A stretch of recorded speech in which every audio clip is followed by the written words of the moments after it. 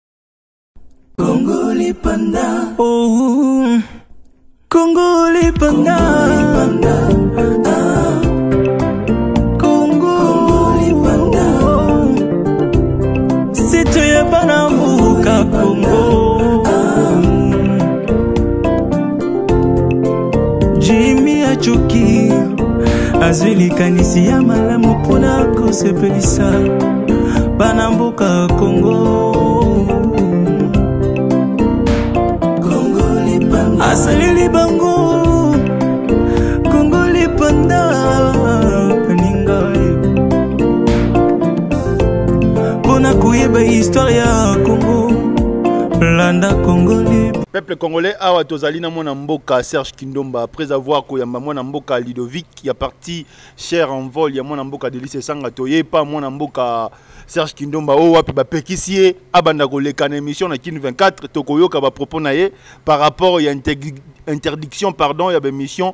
politique oyo oh, ye azalaki comme invité ya bandeki koleka na Kin 24 tozolobela lelo desordre oyo eza na kati ya idps nani apanzi idps mwana mboka bruno chibala na congrès oyo asalisi par rapport ya bamilitant mpe bacombattant ya idps mwana mboka bruno chibala première ministre a remplace le feu président tshisekedi wa mulumba epuis tokolobela makambo etali adoption ya loi électorale tolongoli chapeau parce que Emission eza ya bino peuple. Awa tozo finga te, tozo loba bosolo, tozali église na kati kati parce que toyambaka ba imboka opposition, toyambaka ba imboka majorité et puis toyambaka ba imboka ya société civile. Mwana mboka Serge Kindongumbo mbote. Mbote ndeko. Toye lisusu ya epai na yo.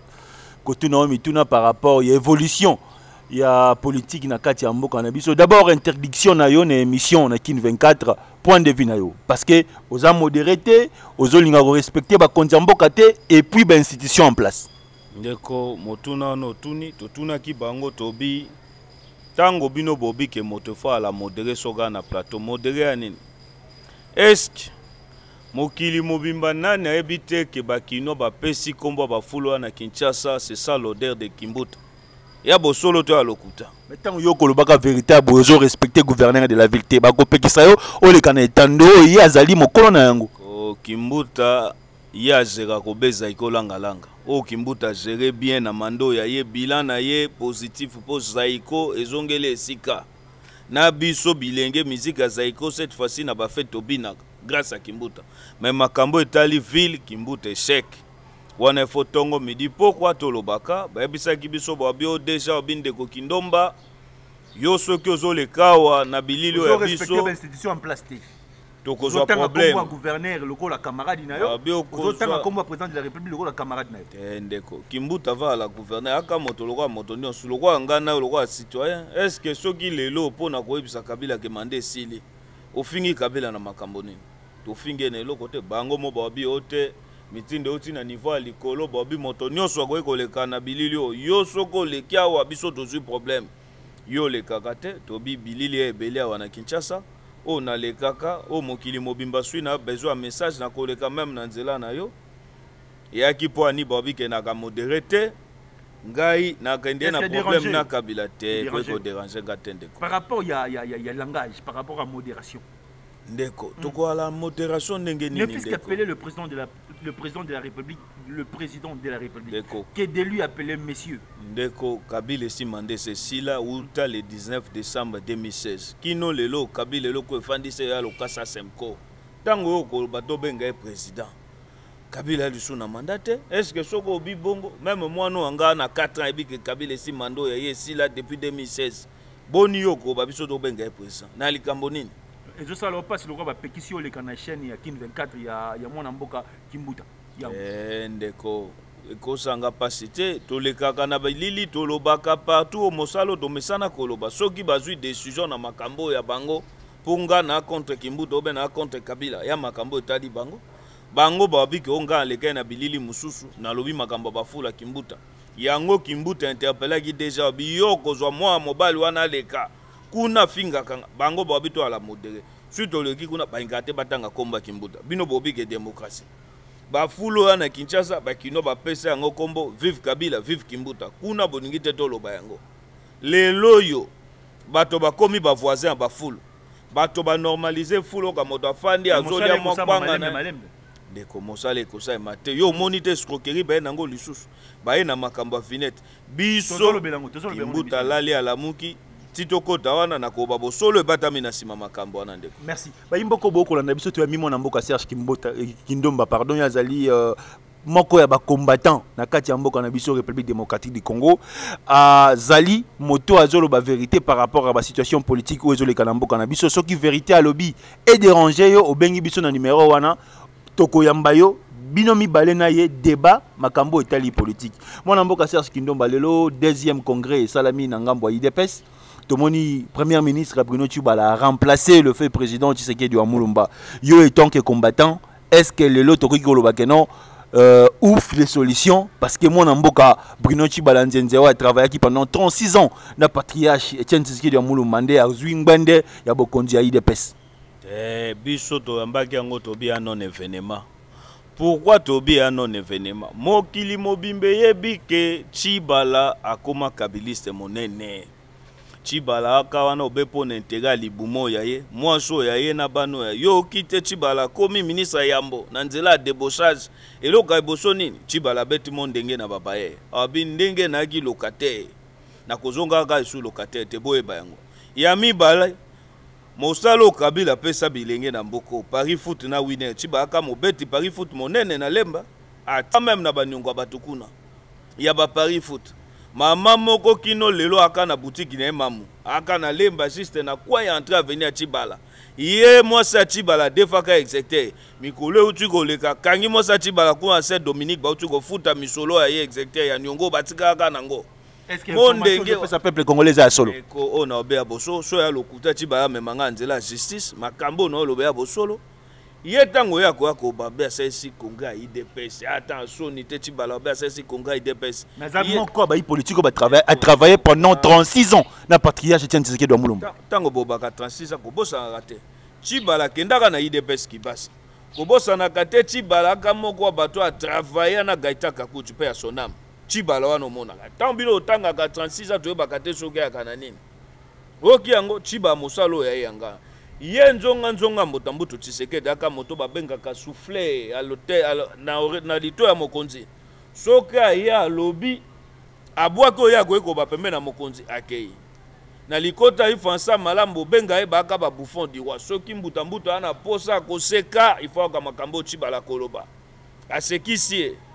ntango bino bobike tshibala nayoki misusu babi o tshibala azopeze yango se normal ye akoma président parti mm. mais tshibala ya na 2011 candidat député national na mwamba oyebi ke azwaka 11 voix bato be 11 bato bavota tshibala echec ya liboso yango wana ntango ye obe asalisi congrès ye na parti idps aka parmi basecrétaire général adjoint 5e yo omona wapi moto ya mokonzi na yo na parti nkombo na yo Jean Marc Kabunda wana a na bomo. Bino mo bo koboya ye na kati ya parti. Eh ba moto aboyi Kabunda ate. Mm. O aboyi Kabundi ya bato oyo Chibala mikolo kwita mili kwa akomi nango misolo azo kwa katongo midi poko ale. Soki aye apesi na mwa bilenge ba wolola Kabundi. Mais bitumbo elombe wana abundaka. Contre bokonzi ya Kabila. Moto soki aboyi ana motema likundu. Chibala aka parmi 5e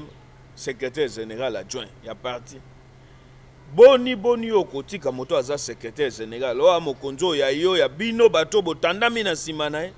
yo okende ko convoque congrès oloba ke yo a partir d'aujourd'hui yo okomi nani président national ya idps cibala est ce que moyen ya te abima lolenge tomonaka brino mafungo abima asalisa parti oyo ya ye mosusu mpe abwe alingi kotika nkombo ya felix te na nkombo ya idps te nkombo na ye mobaki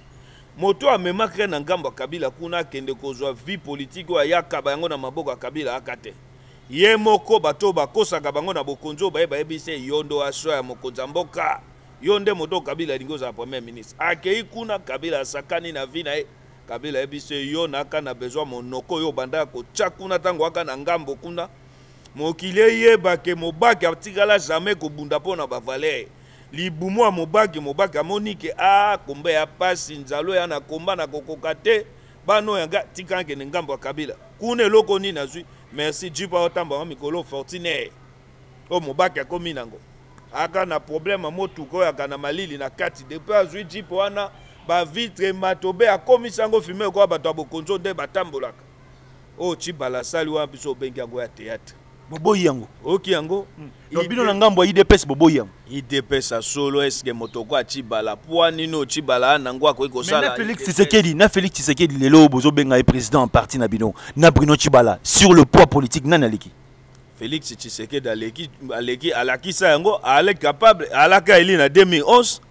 Chibala ale incapable même ko se faire eli même mawa na Kinshasa Aleki ye na poids, tuna Tshibala sima na ye ya nini?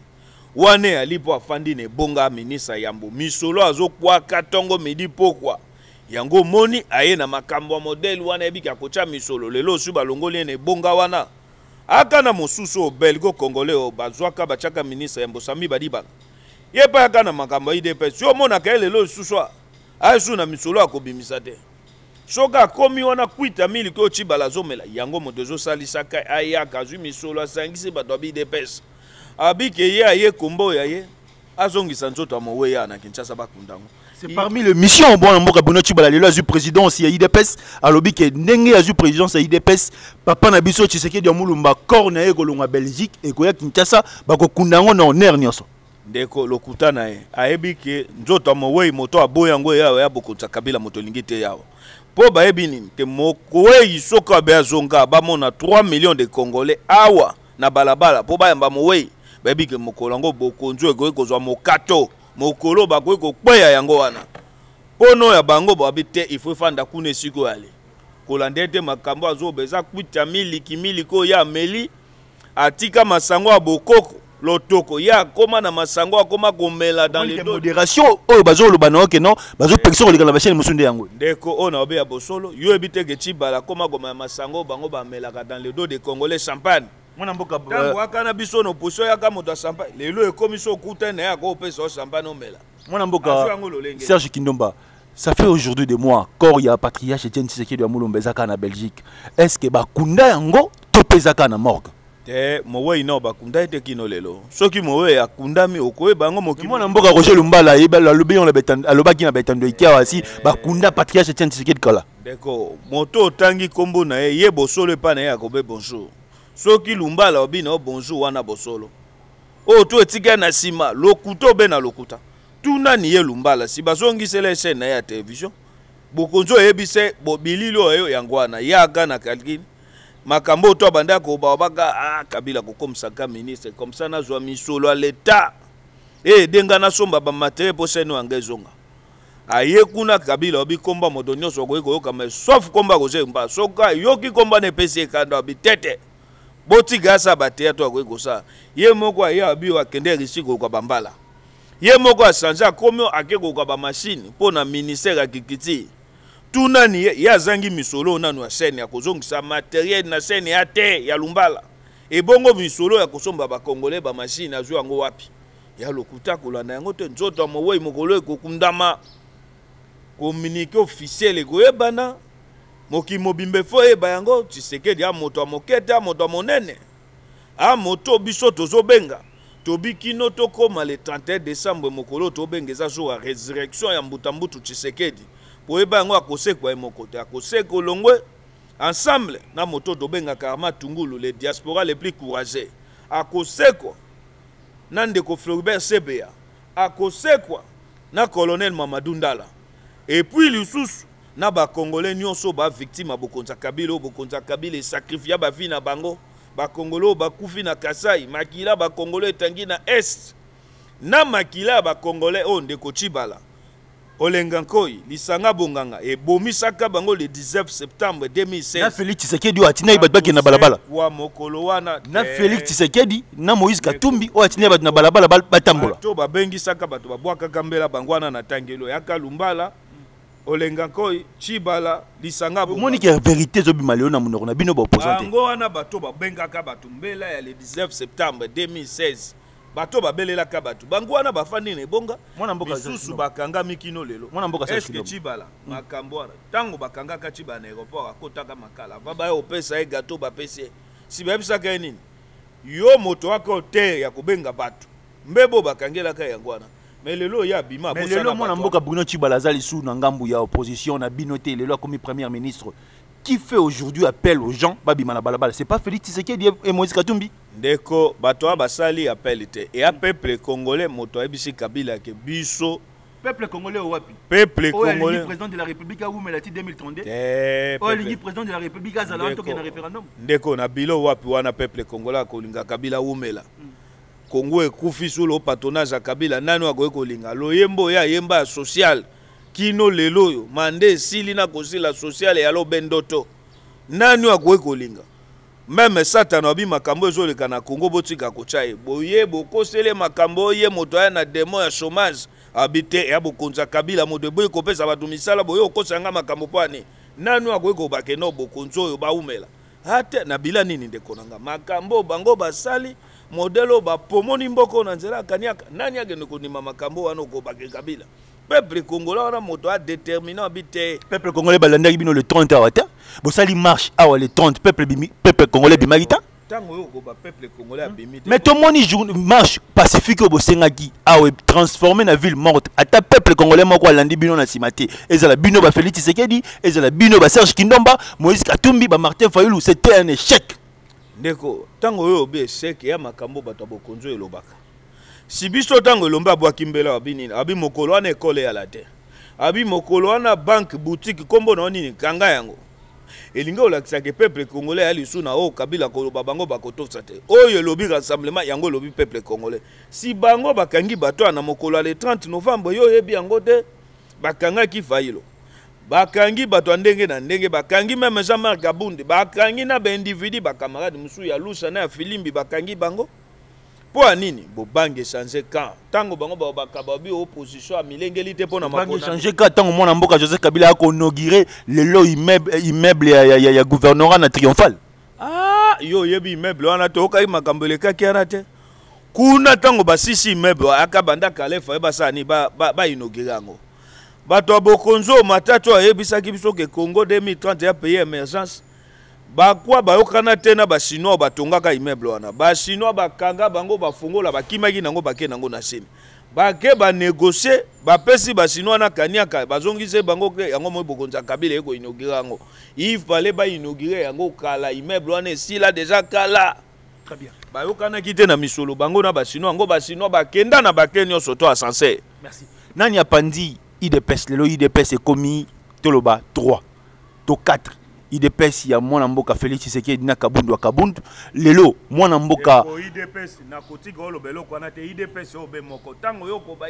idps kibas ezali idps lelo oyo mwana mboka bruno chibala azo gouverne azo dirige comme président ezali epuis idps oyo ya bino bafelix tshisekedi bakabundu ya kabundu mpe ezali moko oyo ekambamaki na elombe tshisekedi le mahatima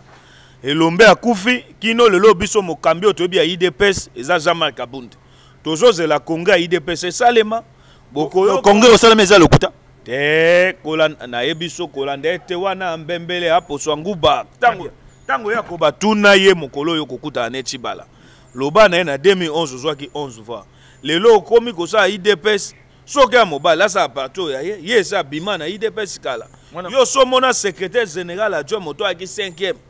akende koconvoke congrès epuis amikomisi président epuis makambo oyo asali wana eza anti constitution oyebi yango na mboko eza serie mpo ayebi ke bokonzi ya kabila eboma justice na mboko eza serie ti bayaki moto oku constitutionnel fai bakatu akoki kozala ministre ou premier ministre akende kozala président national ya parti ye moko asali yango toa na bilili alobi ke ye président national na congo ya ye ye na mwasi oyo aye ekomi kobimisa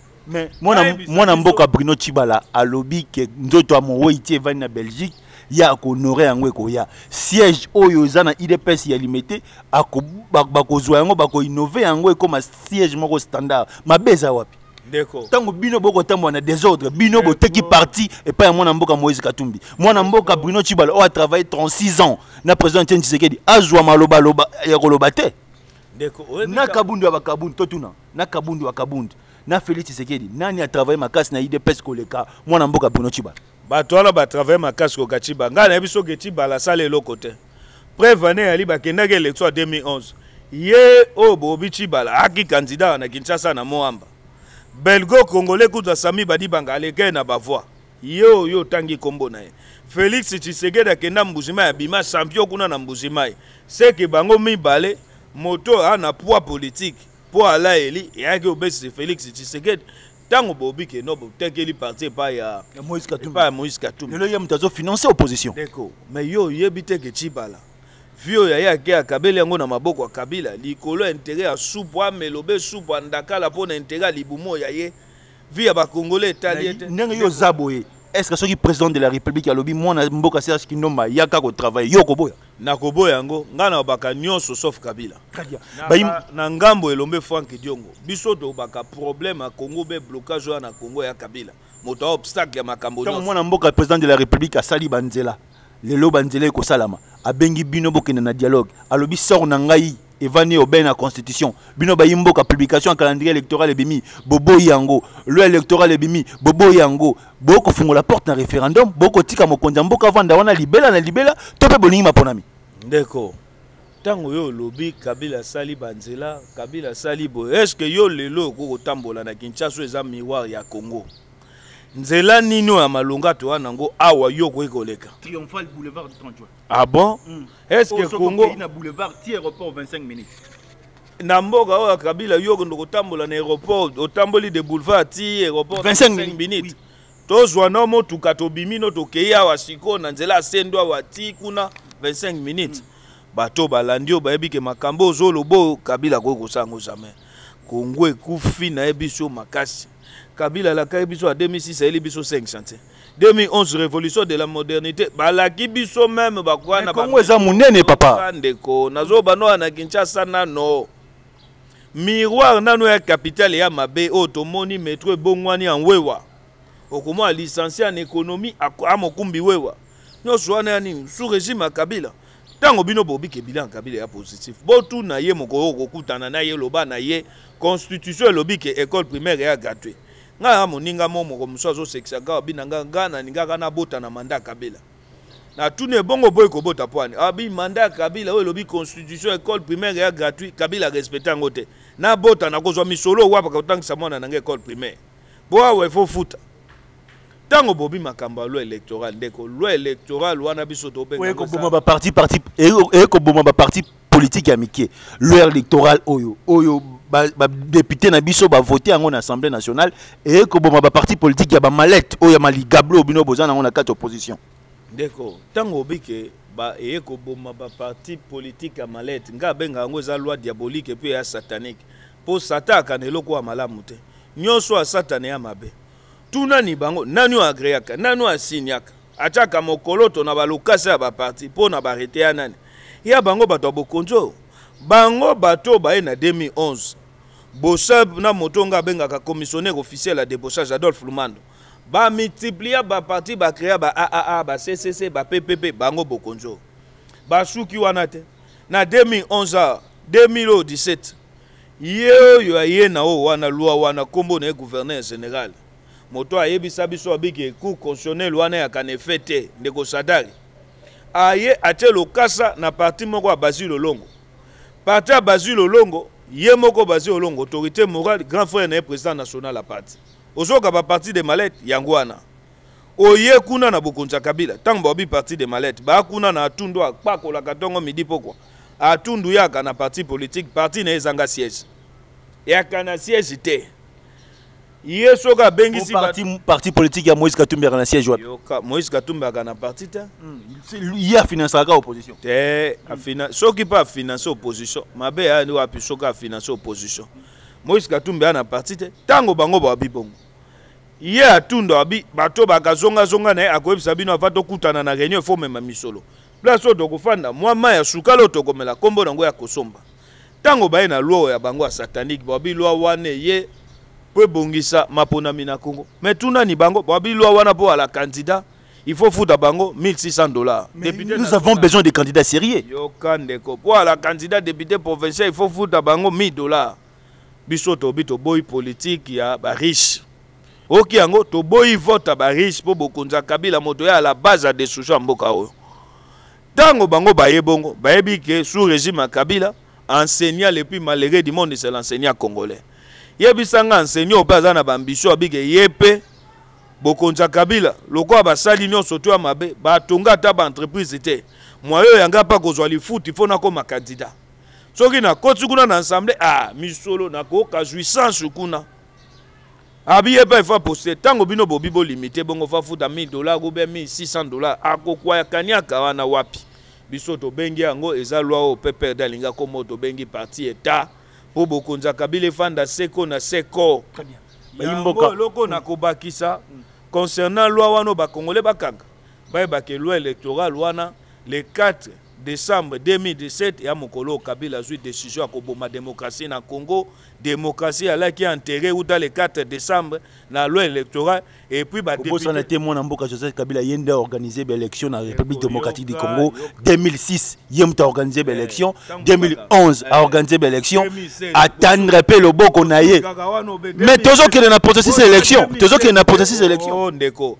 eyaki te ko bakopesa ye manda moko na boni ntango bokobe apesi ya 2006 2011 mm. tya mpe 2016 bosuki wana 2016 ekomi o dialogue atandre loboko il faut boyeba lwa wana evotame ndenge nini bayi diaspora bayoka bokonzi ya kabila etambusi kaniaka na assemblée nationale 2005 sa bakorombe badepute national oyo bomonaka badepute ya majorité bavota lwa wana likoya kaniaka tema misuba wana ye abonga train de vie na ye yaobe na politique a deja na vie ya si copine moye ya cha stabilité ya liobe na misolo ya leta ya soni na pasi na mawa nayebisaki moninga yanga moko na bi na ye yo aka na copine na ye moko copine na ye wana aboya mpo ya nini mpo copine na ye akoma likango ya depute kaka bi sikoyo ye akoyoka ata soki te mobali oyo aye bakorombaka ye nde na ba 2500 mbongo moke bongo ya soni oyo oh, ye moko akoki koluka abundi azwi yango epuis kuna oyebi yango ya ba 600 parlementaire bafutamaka te Bokozo esali ke ba deputes basali 3 mois ya impayement ale babi moyen ya bien kopesa bango misolo yango toyebisi bango soki oboyi loi okozwa eloko te et puis toyoki na 2500 bapesi bango 1500 kino lelo 1000 oyo etikali baofuta bango te tokomi na suka toyambi mwana mboka toyambaki mwana mboka Serge Kindomba ye azali opposant azali combattant na kati ya mboka na biso totuni ye mituna mituna oyo mpe tokotuna yango bayi mboka ya majorité présidentielle tokotuna yango bayi mboka ya société civile na ye ezalaki première partie mwana mboka serge kindomba votre mot de la fin par rapport à cette première intervention et puis lelo bino bosengi transition sans président de la république ekosalama ndenge nini aussi longtemps, que, euh, aussi longtemps pardon, ceni esa publie calendrier électoral Ndeko tobaki ceni wana etali biso te nanga ali rapporteur general ya reunion ya kingakati oyo elobi bokonzi ya kingakati yango nanga aka koloba tango bobi transition sa kabila reponse nango ya simple tolobi yango eza article 64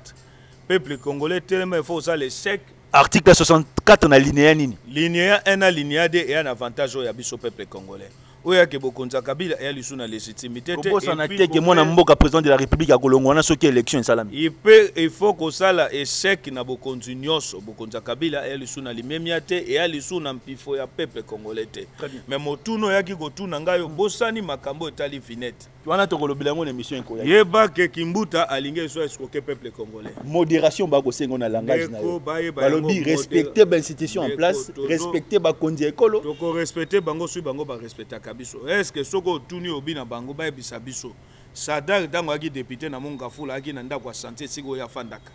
vous êtes dit oza makasi na bainvestigation ndeko akomi ministre vpm ndako oyo ya ye santi wana nyonso esili aye na basante